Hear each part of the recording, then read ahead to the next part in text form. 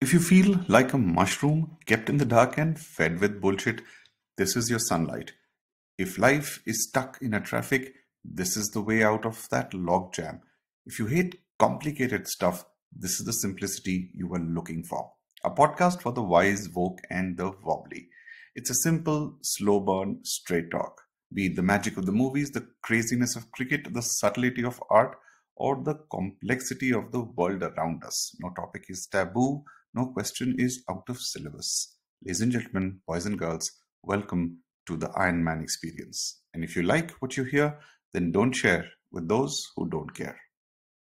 You know, slow burn podcasts like this one, it's incredibly difficult to have a discussion around an India Pakistan match without standing up from your seat or raising your voice or having this extra emotion as much as we'd like to tone it down and keep it soft and normal and slow paced and slow burn, matches like this really mess up your script, right? So I'm going to try and keep it as sane as possible for a absolute insane experience that all of us witnessed yesterday. Yes, ladies and gentlemen, boys and girls, we are going to do a recap of the T20 match, a league match which stirred up a billion emotions yesterday night between India and Pakistan at the MCG.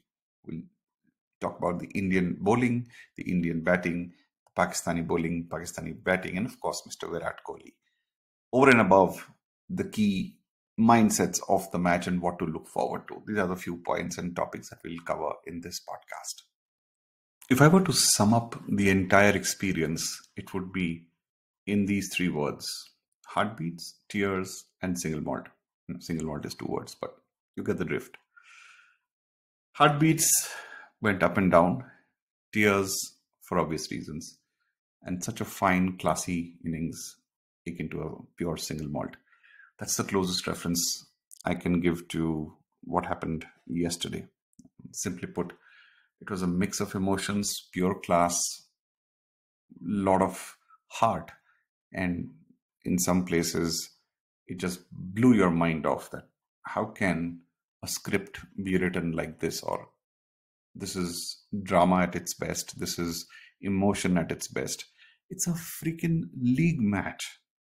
A billion plus people tune in to watch this.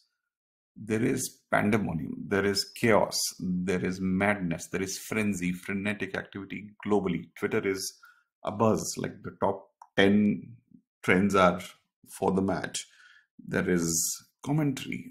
There is expert opinions. People who have never ever watched a, the match sit and sit glued to the television. People who have always detested watching this particular format of the game t20 thinking it to be just a slam bam kind of an affair. They tune into the game. Long into the night when the game is over people are still talking about it the next day morning, people are still talking about it. That, ladies and gentlemen, boys and girls, is the impact of a classic India Pakistan cricket match. I don't know if Super Bowl fans have had similar experiences or the rivalry is that intense or that long between two teams. But if ever there was a global sport which such riled up heightened emotions, this had to be it. It's just not the 92,000 people in the stadium. There were about a billion watching on uh, digital platforms, could be on televisions and some other form of communication and broadcasting. So the madness was, it was feverish in the real sense of the word. The superstitions galore, people kept their fingers crossed, the nails were bleeding people wore the same t-shirts some people sat in the same space there they move from where the lucky position was and whole bunch of things. And that is why it is such a broadcaster's delight to present an india pakistan match. The coverage of the match itself started from 7 a.m india time for a match which began at 12.30 so almost four and a half hours later. So that tells you how far and how much this spot, this particular encounter is appreciated across the globe.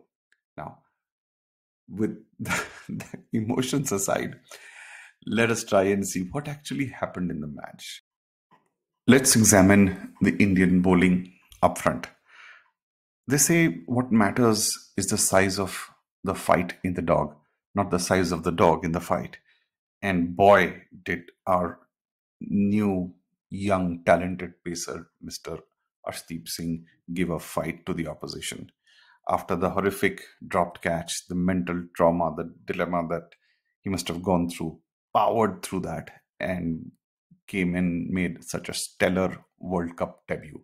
You know, I have to stand up and clap.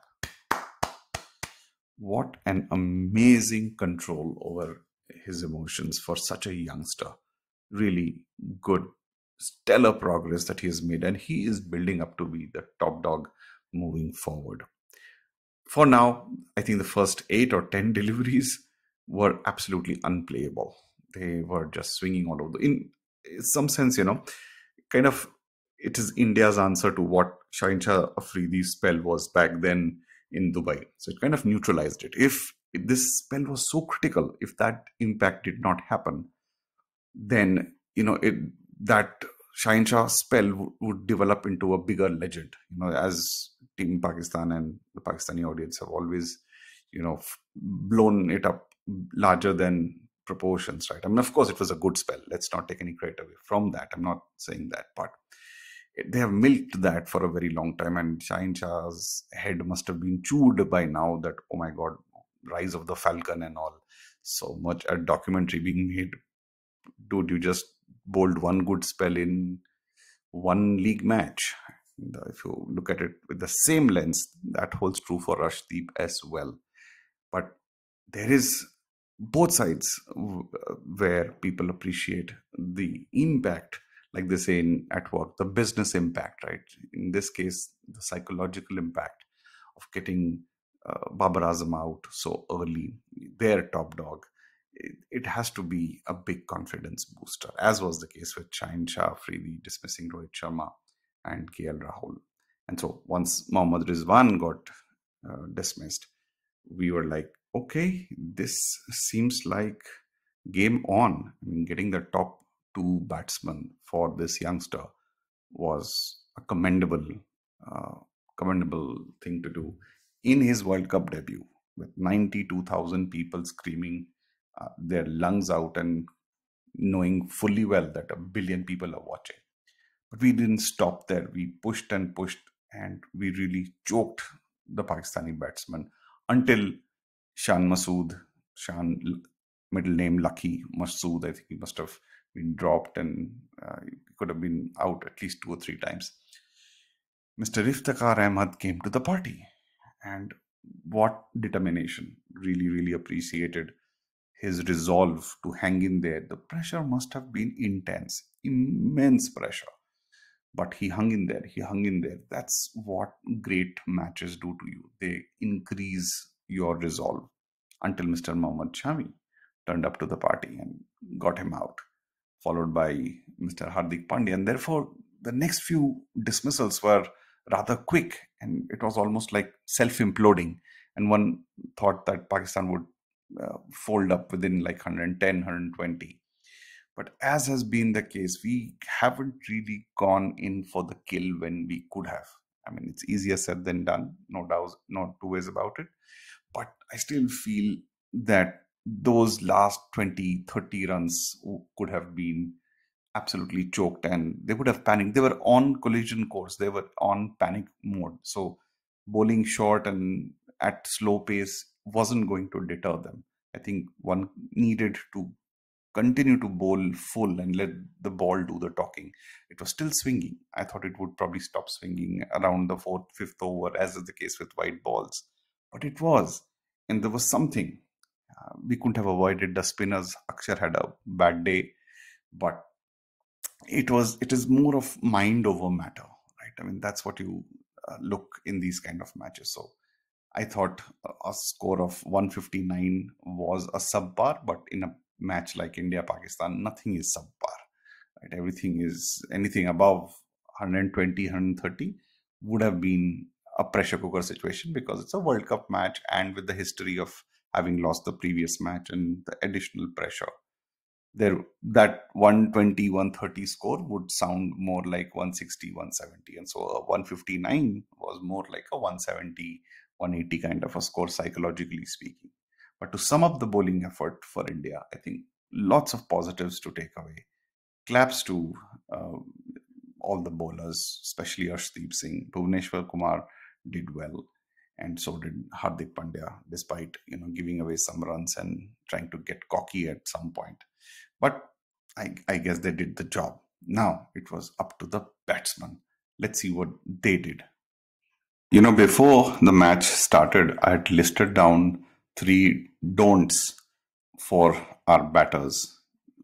One was don't play outside the off stump. One was switch on, don't be like switched off, switch on from ball one. And the third one was move faster, the bat speed. And exactly that's what happened. All the top two batsmen and uh, top three, excluding Mr. Virat Kohli, and we'll come to that in a bit, did exactly that. KL Rahul seems to be absolutely out of space. I think he's letting the pressure get to him. No doubting his talent and ability, but the pressure is getting to him, and his bat speed and his defensive approach is doing him in. And now he's being bowled on consecutive occasions in a similar fashion, right? So, cause for concern in the headspace. Mr. Rohit Sharma, I don't know, you know, his batting is taken a dip for some time now. It was good until somewhere early last year, and then I think post all this hoo ha about captaincy and shift and everything, his ind- individual batting has gone down, and I've always maintained that he's probably put on some extra weight as well, and his hand-eye coordination seems to have gone down. And notably, this time he did not take the strike to Shaheen Shah Afridi. Bad idea, bad, bad, bad idea. You cannot let your opposition know that you want to avoid them. In world cricket, in any sport, there is no hiding right so you had to take strike you have to figure out if a tall left armer is bowling at 150 clicks on your pads, you know the syllabus. He's not going to bowl out of the syllabus because in his mind, he's thinking if I bowl full, pitch it up, ball will do the trick and I'll get my wicket. That's and it's a stated objective. So are you telling the opposition that oops, I can't handle this shit anymore. I can't take this. That's not the message you want to give, right? You want to stand up tall and give a thumping reply that yes you did this the last time around now i have a answer for you anyway so that was uh, what mr rohit sharma missed the trick clearly again getting dismissed very cheaply looked out of sorts as a batter he's looking absolutely out of sorts right i think he's not yet settled into captaincy air quotes on that and that brought in mr surya kumar yadav now, all the hoo ha, fun, frolic, and yes, you played well in England and all and some IPL matches. This is the big match. One expectation from top performers, alpha performers, is that you stand up tall when it matters. In league matches, un- inconsequential matches with lesser opponents, it doesn't matter. And this was a league match, but the occasion was totally different. The opposition was your arch rival this is where you had to make statement. Now, if you hear some of the Pakistani commentators saying Surya Kumar doesn't work with India, he could with uh, against Pakistan, right? He could do well elsewhere, but with Pakistan he falls flat. So we don't take him seriously. Already that narrative has begun to flow. Not that it should worry him or bother him, but somewhere at the big stage, he's got to raise his hand and be countered. yes, you can appear all cocky and swaggish with the chewing gum and all that, with all your expressions. You do not cut a guy who's bowling 150 clicks. I mean, that's basic common sense, isn't it? You have to play straight, give a few deliveries. This was not supposed to be a hammer and tong, especially when you lost both the openers. You're supposed to build the innings. Where is that template gone? Right? Or are you so scared, again, in your mind, that if you play defensively, you will get out anyways? So you just kind of took a chance. So clearly, big match temperament yet to be tested is the message that is emerging out of Mr. Surya Kumar Yadav's camp right now. Akshar Patel was a good ploy to be sent, but today he had a bad day, right? Let's give it to the bloke. He bats better than that, and he clearly bowls better than that. And so, not much to say. Mr. Hardik Pandya walks in again with all the swag and all the I am cool dude look and all that. Great, as long as you walk the talk. And that is where the game turned on its head.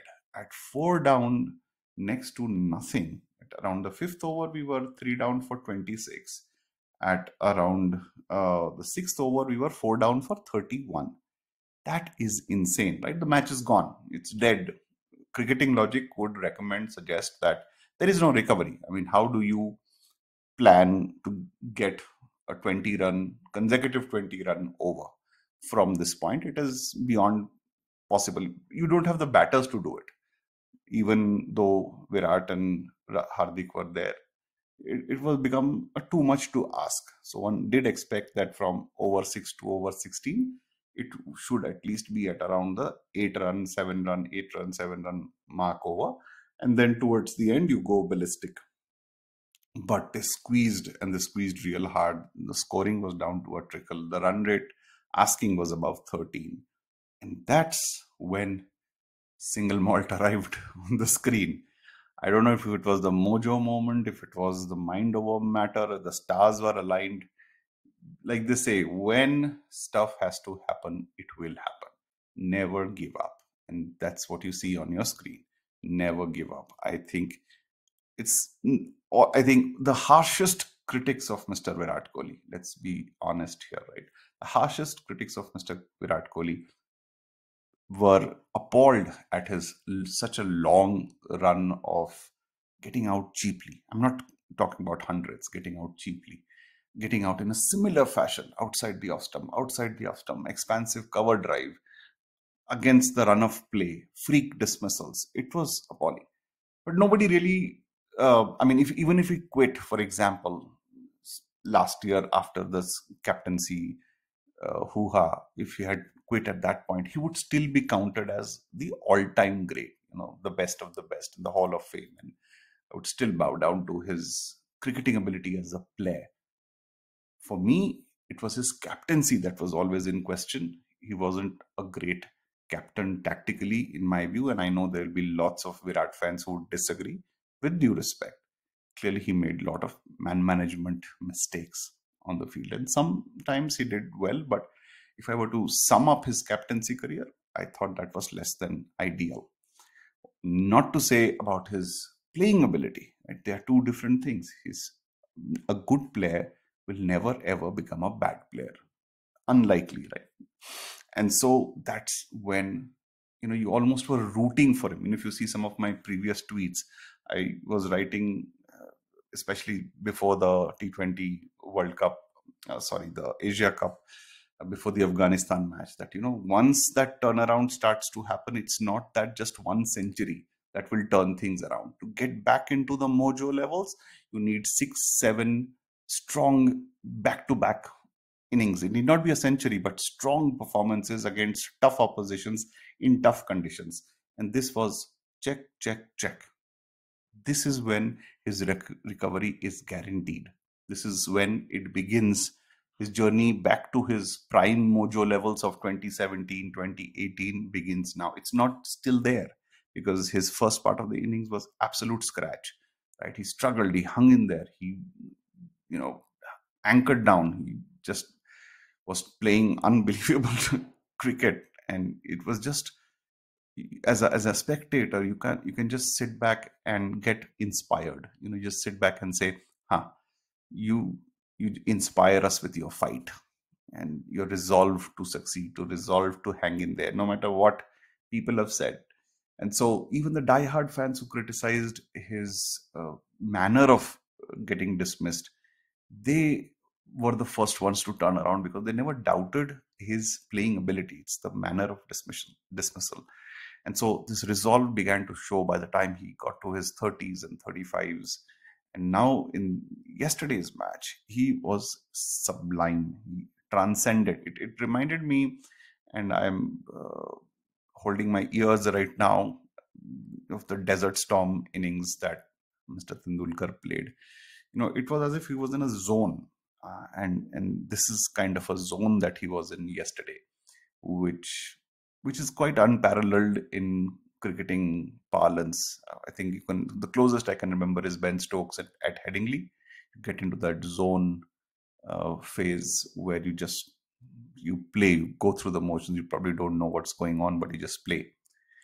And as if all this was recovery was not enough, he goes on to play those sixes to Mr. Haris Rauf. Oh my God. I mean, I just like, just stop, man. There's nothing to say. No adjectives will ever justify those two shots. It is just an incredible. And that's where, you know, the match in, in the head, you know, thought, hang on, even if we lose this match, this is the moment where his if he even had any loss of confidence would come surging back that i will get across the line i will not give up and so by the time we got to, to the last over drama of like 20 things happening in one over and all the crazy things happening unbelievable presence of mind by mr ashwin just he left the ball outside the leg stump what balls you have, man. Unbelievable. That's a clap moment as well. That leaving that delivery, and if it by chance hit the pad, or if the umpire adjudged adjudged it as oh the batsman moved, so it's not a wide. Oh my god, that would have pretty much been the end of the career, his career, right? And great judge of length and direction, and he spot on keeping your wits about in such situations is a skill in itself. He's clearly the odd man out. Let's be honest in this team, right? From a fielding perspective, he's very abysmally slow. Bowling has, uh, well, yet to be, you know, hitting his peak. And batting, you don't consider much. It's his cricketing ability in the mind that is probably still warrants a place in, in the team, but it'll clearly be pitch dependent moving forward. And so hats, hats off to him. And then when the final run was scored, uh, Mr. Virat Kohli shed a tear. I shed a few tears. that was when you know the single malt, the tears, and the heartbeats all coalesced into this one moment in one unison, in which he had defeated defeat and defeated the horrors of the past, defeated the challenges, the critiques, the noises that would have happened in his head in his mind inside his mind. I'm still uh, at a loss for words myself podcasting about it imagine what he must have gone through the motions while actually doing it. I mean the adrenaline must be off the charts but that's that was the it moment for me that winning run and Virat Kohli pumping the pumping his fist into the ground, that really you know brought a lot of emotions, and you only feel you you know a sense of awe, a sense of inspiration, a sense of oh my god, this man is unreal. That is magic.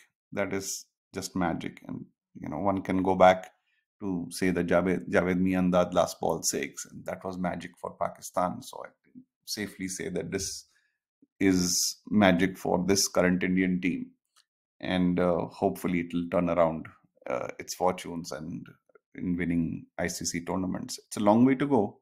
Repeating similar performances consistently in key matches is still a story unchecked. Right, there's one job done, but there will be if you qualify, then you you meet a top team in the semis and then the final. So at least two more big matches, big marquee matches, uh, if assuming you get to the semis. And so lot to look forward to, but this was all Mr. Virat Kohli. You know, so kudos, and now we look forward to his next innings. Oh, this must have hurt Pakistan, Team Pakistan, a lot. But you know what? this Pakistan team is not like its predecessors. You know, there are no characters which turn it into a personal animosity and anger and hatred and sledging. This is a very dignified Pakistan team, and one can't help but notice the calmness, the dignity with which they accept what's going on. I just hope it remains like that. I don't know for how long, but I just hope it remains like that. They have earned the respect of a lot of cricketing fraternity across the world, not just in India, across the world. It's very difficult to not like somebody like Mr. Babar Azam, right? Comes across as the calm head on the shoulders. Let's play the game. Let's focus on the game kind of guy. And that's exactly what you want. You don't want characters like Mr. Shahid Afridi and uh, you know some of the previous. I don't even want to get into the names, Mr. Amir Sohail, kind of characters who kind of spoiled the spirit of the game. Right? They came and made all nonsense, and yeah, you were a better side at the time, and you played better cricket. That's it. You don't need to uh, provoke another player or sledge another player, and of course, all of that changed in post the advent of Mr. Ganguly. But this Pakistani team has a lot of positives. They are a force to reckon with now. Clearly, till about 2016, 2017, they were in, into the wilderness, into the darkness, dark horses. Part of the resurgence was thanks to winning the Champions Trophy final in 2017 and the emergence of two, three players at the same time. All the ascendancies, think Australia, think West Indies, think Indian cricket, is when three or four players consistently arrived or arrived together and then consistently did well. And so Mr. Babar Azam, Mr. Shaheen Shah Afridi, Mr. Um, Mohammad Rizwan are some of these talents which have arrived on the scene at the same time. They will win some, they will lose some. So if you are a Pakistani fan listening to this, please take heart. You know, this is at the end of the day, the biggest cliche is it is a game. It is a league game. Can you beat that? It's a league game. And yes, the emotions run high, but don't exit the field with a bitter taste in the mouth. You know, both teams played well, and a lot of chances that have, could have gone Pakistan's way, and a lot of chances could have gone India's way. So let's not get there. Let's not make it into this. Uh, I, I saw this trend called the snowball narrative of cheating and all that. It's not required. It's not there. Not because I, I'm from India. Just just saying neutrally speaking, if you saw, if you, if you drew a straight line, uh, the, the, the point in time when the ball met the bat, it had not yet begun dipping. And by the time it would have crossed that zone, because it was bowled at that pace, that the trajectory wouldn't have dipped below the waist. So that's, you have to make peace, peace with that. Even if not, for a second, if you believe that even if that was not a no ball, sometimes when destiny is in your favor, it just so happens it you've been at the beneficiaries of it as well you've been at the receiving end of it as well right you've been lucky in many matches earlier where absolutely unbelievable matches have been pulled out from the jaws of defeat you've pulled out victories from the jaws of defeat it has happened with india so many times right india was on the brink of winning verge of winning and you just pulled off a spectacular uh, match think of that Sharjah innings uh, by Mr. Uh, Javed Miandad. Right? That is one classic example. And there were innings that happened, the test match in Chennai, uh, when you know Sachin fell short, and many such instances. So it evens out. I am hundred percent sure that in some other match, it, the wind will blow the other way. And so please take heart. Don't be disappointed. You are a stellar team with great talent. You have earned the respect. And in Rahul Dravid's, Mr. Rahul Dravid's language, you have banged the door down right hey now you look up to us and we'll show you what we are made of. This is the time to show the world that you are not just a mercurial team but you're also a very consistent team. This is where you prove it right? Where uh, so kudos to you guys. A game well fought. Respect for the way you conducted yourself on the field. And hopefully it continues off the field. And uh, wish you all the best for this tournament. It is not over yet. So make yourself believe when you have Mr. Hayden uh, supporting you.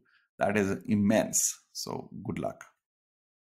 Well, that's all the time I had for this edition of the Ironman Experience. Hope you enjoyed this slow burn, easy on the ear, straight talk.